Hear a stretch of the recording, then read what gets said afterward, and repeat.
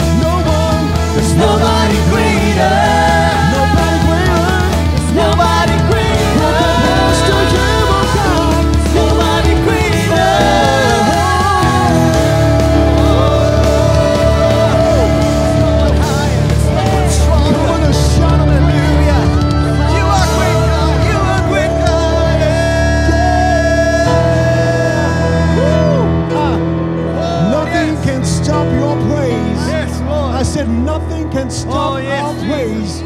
Right there where you are, just lift your hands to Him and say, Lord, thank you for this name we have. It's a name above every other name.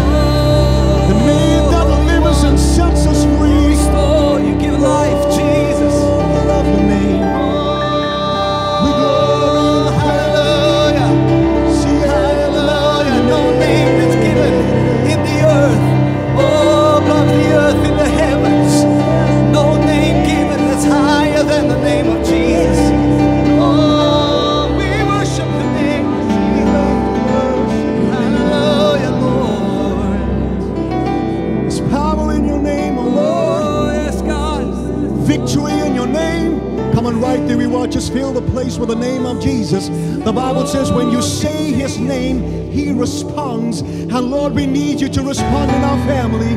We need you to respond in our country. We need you to respond, Lord God, in every aspect of our lives because you hear our prayers and you hear our cries. Jesus. I'm Pastor Neville. It's so wonderful to share the Word of God with you. And I'm mindful of the goodness and the blessing of God. In this time, God has supernaturally been providing for you and I. What a privilege it was to be able to supply food and to provide food for those in need, and to be able to see every one of our leaders taken care of, and our people and our congregation taken care of. And I want to thank so many of you who have so generously been giving to the Lord during this season. But I was reminded of Psalm 31, and Psalm 31 is a really significant psalm. It's the psalm of Jesus, it's really the life of Jesus, about the crucifixion. And it begins in verse 1 with saying, In you, O Lord, I put my trust. Let me never be ashamed. Deliver me in your righteousness. Then, when you go further in the psalm to verse 20, it says, You will hide me in the secret place of your presence from the plots of men. You will keep them secretly in the pavilion from the strife of tongues. You blessed be the Lord, for he has shown me his marvelous kindness in a strong city. I want you to know God is showing us marvelous kindness in a strong city. God is supplying our needs. This is a strong city. Many times when we talk about a city, we look at the location in which we live. But the Bible says we've come to Mount Zion, the city of the living God. When it says that, it says we've come to the house of God, to the place of praise, to the place of worship, to a place that is a fortress. The strongest and most secure place right now is to be in the presence of the Lord Jesus Christ. The strongest and most secure place is to remind God of his promises. Here, the psalmist is writing, and when he writes, he is writing about the crucifixion of Jesus. And yet, as he writes, prophetically, he sees the future. And I believe that God is speaking to you and I that prophetically the future is better than what we are living in in our present. So many times we become so obsessed with what we are living in right now. But the psalmist begins by saying, I'm not going to be ashamed because God will hide me in the pavilion. He will hide me in his fortress. He will bless me. I want you to know that God has a thousand ways of blessing you. If He could send ravens to feed the prophets of God, God can send ravens to feed you. If He could supply manna in the wilderness, God can supply manna or food for you. The provision of God is a wonderful thing. It is an amazing thing how God provides for you. So many times we make light of the provision of God, but I want you to know God is a supernatural provider. Sometimes just in the little things, we see the hand of God. And that doesn't stop us praying big prayers, but in the little things, we see the provision of God. Answered prayers. This week we've been praying for many, and what a wonderful privilege. We've seen some of our young families and uh, they've just had children and how God's protected them in the hospital and they've come out of the hospital healthy and well. And when there's all bad news and doom and gloom, we see that children that are the heritage of the Lord are being born, families are being blessed. God has been providing for this wonderful congregation, and God will continue to provide for you and I. So, as we come to give to the Lord today, we don't put our trust in the arm of flesh. The Bible says some trust in chariots and some trust in horses, but we trust in the name of the Lord our God. Our trust is in God who supplies and provides for us. Our trust is in our Heavenly Father who supplies for us.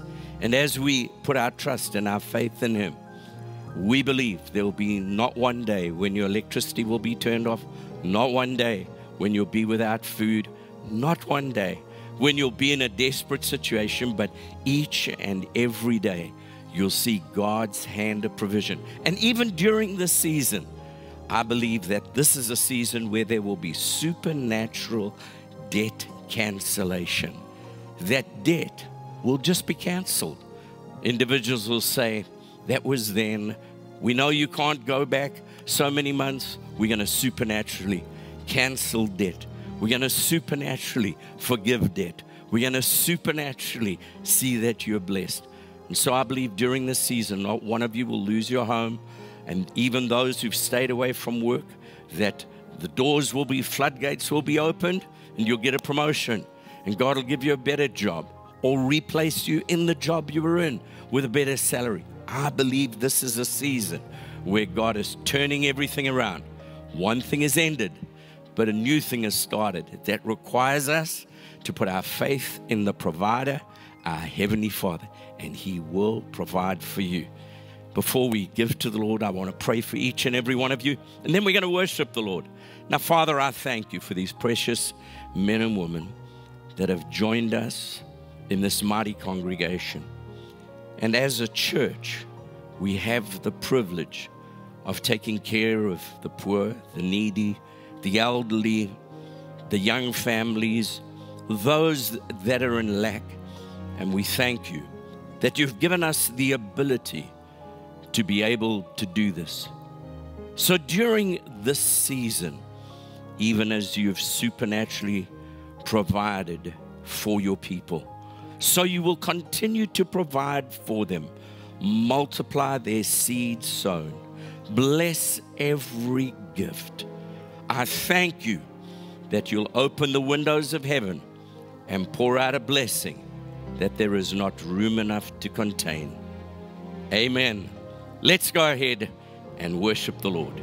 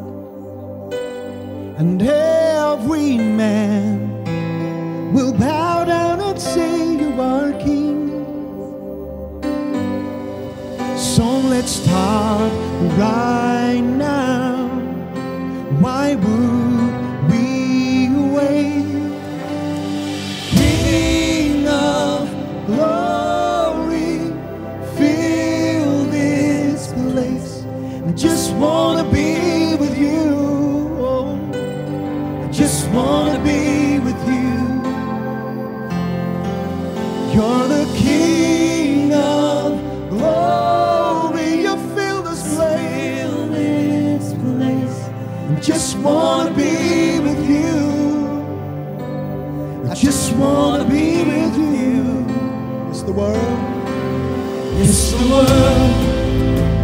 Will bow down and say you are God. Every man, and woman, boy, and girl. Every man will bow down. Will bow down and say you are King. Come on, let's start right now. So let's start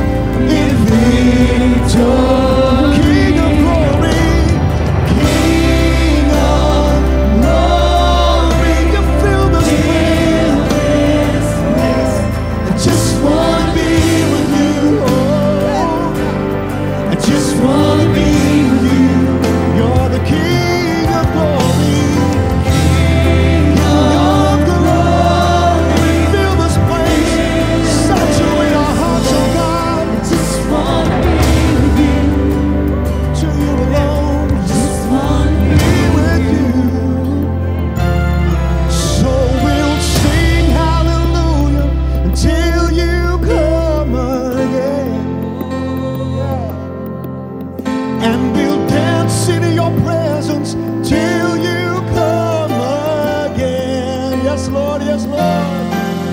We will sing hallelujah until you come again. I will worship before your throne and we'll dance in your presence until you come again. Oh Lord, we worship your name. We will sing hallelujah.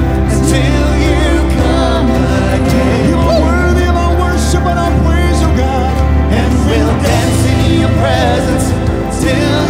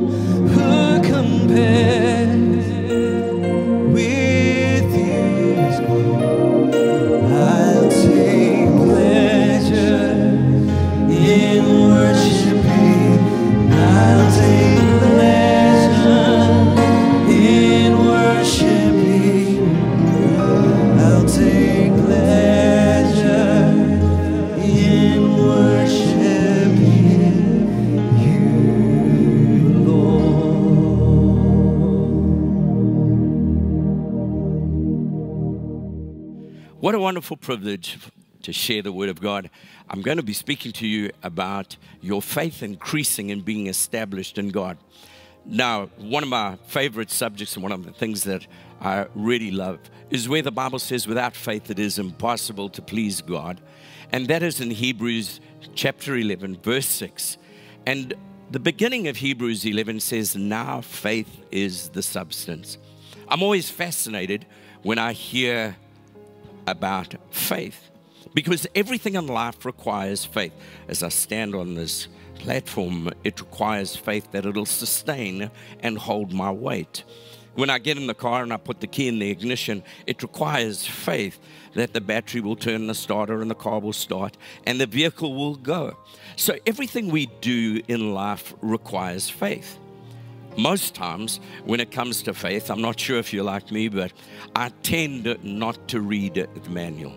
So I get in the car and then I put the key in the ignition, and uh, the car can do things that I don't know that it does, or I forget that it can do certain things. And so I forget that the car maybe has a GPS, or that I can connect my cell phone to the car. And so in the process, it becomes a little bit difficult for me. And I begin to realize that I need to read the manual. And so what we're doing today is when we come to the Word of God, is we're reading the manual. And in reading the manual, I may just bring music down a little, Gav. But when we read the manual and we go to Romans chapter 10, uh, verse 6, I want to speak to you about what God says to us. But the righteousness of faith speaks this way. So the Bible's addressing how we speak. Now we know that faith, without faith, it is impossible to please God. And uh, faith has a certain language, it speaks a certain way. It isn't a faith that is just a foolish faith. I don't just foolishly stand on this platform. I'm aware of the structure and I'm aware of the strength. And so I'm aware that when I place my bodily weight on this platform, this platform will not only hold me, it'll hold the piano, it'll hold a choir, it'll hold a whole lot of people. Therefore, I know there is structural integrity. And when we put our faith into the Word of God, there is structural integrity. So the Bible talking about you and I now that we are born again, says we are the righteousness of God in Christ, which means we have a right relationship with God. He loves us, we love Him. And so these words sometimes are big words that we see in the book of Romans, like righteousness and justification and sanctification, and we get confused. But the word righteousness just means to be right with God. So it says, Those that are right with God speak this way. Do not say in your heart, Who will ascend into heaven? That is to bring Christ down. Or who will descend into the abyss? That is to bring Christ up. But then he goes on to say, But what does it say? The word is near you, in your mouth and in your heart. That is the word of faith which we preach. Now, what is he saying to us? He said, Don't look to try and bring Jesus from the throne of glory to where you are. Neither are you trying to reach into the nethermost parts of the earth to bring Christ up. We are not trying to bring Jesus into our circumstance. The scripture is clear. Now that you are born of the Spirit, He is living in you. That's why the Bible says, Greater is He that is in you. So we are instructed how to speak. It says, The righteousness which is of faith. We're not trying to bring Jesus out and say, You're a recluse, if only you would hear me. Many of the old hymn writers would write songs like Reach Out and Touch the Lord as He passes by. Well, that would have been relevant living in the Old Testament because the woman with an issue of blood had to reach out and touch Jesus to be healed. But now that you've received Him into your heart, he is only a breath away, a prayer away. He is the greater one living on the inside of you. So we're encouraged not to endeavor to bring Jesus into the circumstance, but to recognize that He's near us in our heart and in our mouth. Then He gives us the solution that if you confess with your mouth the Lord Jesus Christ and believe in your heart that God has raised him from the dead, you shall be saved. Now, this is the core of the gospel. You believe in your heart and you confess with your mouth. For the rest of your life as a Christian, you believe in your heart and you confess with your mouth. What you believe, you will speak about. And if you don't believe in it, you won't speak about it. So I believe and then I confess. So if someone said to me, Pastor Nev, do you believe that a parachute would carry you from an aeroplane as you plummeted out the door and flew towards the ground? I would say, I believe it. But then they would say, well, if you believe it, they may push it a step further and say, can we put a parachute on you and throw you out of the plane. And I'd say, Well, I, I, believe it can carry me because I see it has carried others. And many times our faith is in what God has done for others. But there's a point where you have to jump out of the plane yourself, and the parachute has to open for you personally. I remember hang gliding many years ago, and I jumped off the edge of a very high mountain near the near the Drakensberg. And I had a bunch of crazy friends. There were eight of us, and out of the eight of us, I think two of us are still alive, and uh, most of us are not here because of the things we did. And so we would take one of the farm vehicles and we would drive up onto the side in a farm, one of the farmers' homes. They graciously allow us up. One of us would drive and we would drop off seven and then we'd go down to wait at the bottom. And we'd drive at the top of the mountain and seven of us would set up our hang gliders and then run and launch ourselves off the side of a 1,500 meters, 2,000 meter mountain and plummet towards the ground. Now, the scary thing about a hang glider is that we all know that a wing of an aeroplane, a wing will carry you. We believe in it. But faith requires some action. And I never forget the first time I set up my hang glider, and my friend said to me, You'll be fine. Don't worry about it. Just run. Well, the first problem is you can't run fast enough to get enough air under the wings to pick you up. The second part is there's a point where you've finished your running and you're coming to the edge of a cliff and you literally hurl yourself off. Now, logic tells me to lift the wing up and to look to the sky. But if I'm going to fly, I actually point the wing down the side of the mountain and plummet down the side of the mountain to gain speed. And as I gained speed, then I'd flare the wing of the hang glider up and it would pick me up and then lift me up way, way, way above the mountain. And if you were good enough, you could circle the hang glider like a bird and then you'd fly it all the way down to the bottom. And when you landed, you had to land pretty much like a bird. You had to lift the wing up to the sky and then settle it down so your feet could touch the ground and you'd hit the ground with your feet running. Now, if you got it right, you could settle it down perfectly. But I never forget the first time I hurled off the top of a mountain, I realized suddenly that I was at least three, four hundred meters above the ground. There was no way down. I was reliant on this wing to carry me. I had to have faith in an aluminum structure covered with sail material, stitched together by someone's hand. I had to have faith that when I bolted that hang glider together and strapped myself in, that I was correctly strapped in. There was no way out. I was committed. And I knew I'd have to fly or die. So I flew, and of course, I'm still here. But I never forget that first flight. I landed the flight, and when I landed it at the bottom, I was so afraid I couldn't get my helmet off, and I was slapping myself on my own head with my helmet because my hand was shaking so much. I, I was terrified. It didn't stop me flying, it just made me want to go higher and do it again and again and again. As I said, there were eight of us and there two of us left. I'm still here. I quit hang gliding while I was ahead.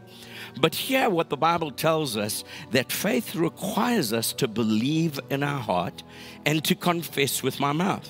The story of the hang glider was simple. I believed my friends that a hang glider could fly. I'd heard their confession, but then I purchased my own hang glider.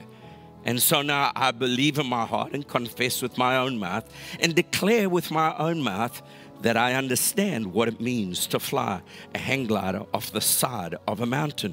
And once you've given your life to the Lord Jesus Christ, you understand what it is to receive God into your heart. But the rest of your Christian life will continue with these acts, which many people think are daring. But in actual fact, they're not daring at all. Because provided you're in the safety and the security of the Word of God, you will be all right.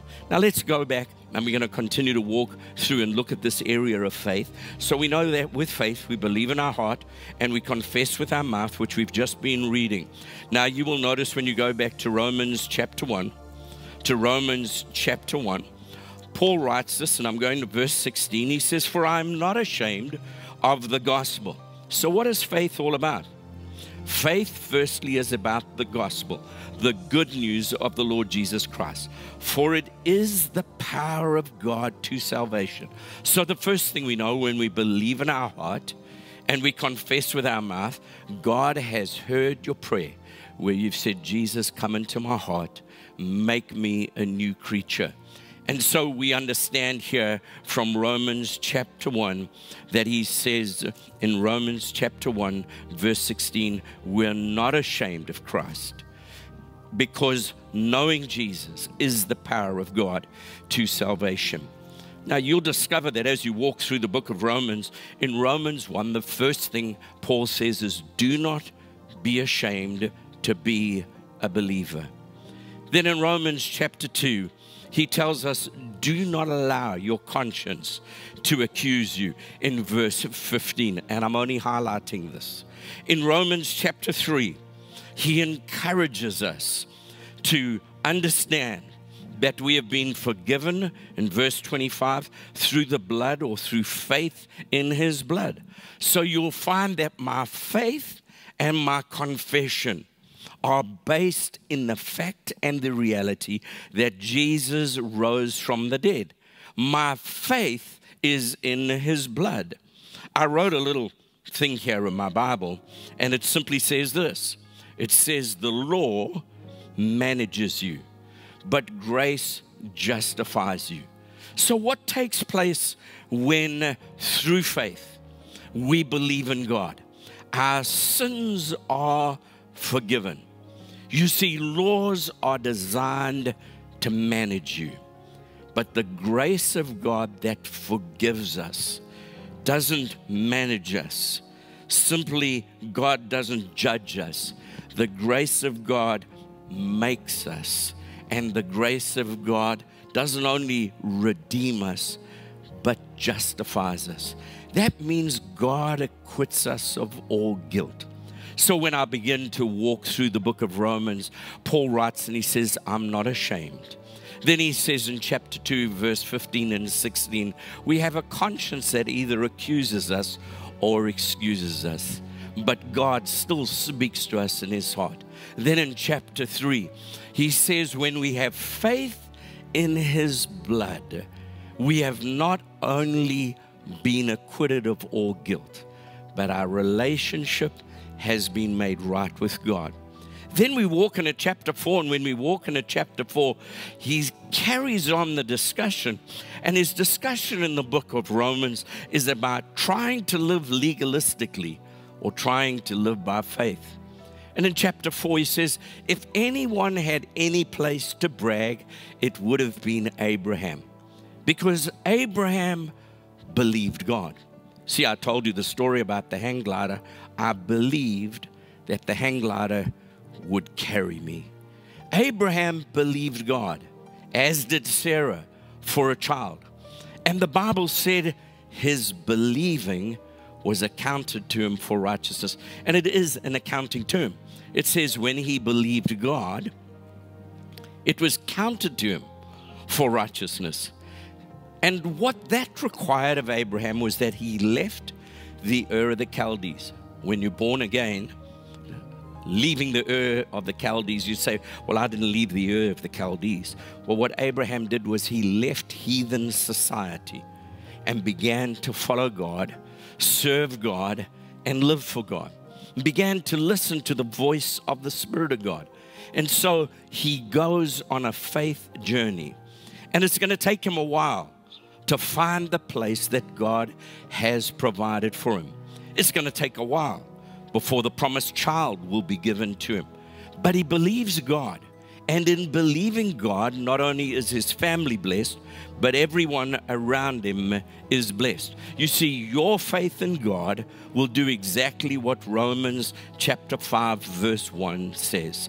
And I want to encourage you, and I'm walking a little bit through the book of Romans, but in Romans 5, verse 1, it says, Therefore, being justified by faith, we have peace with God through the Lord Jesus Christ by whom also we have access by faith.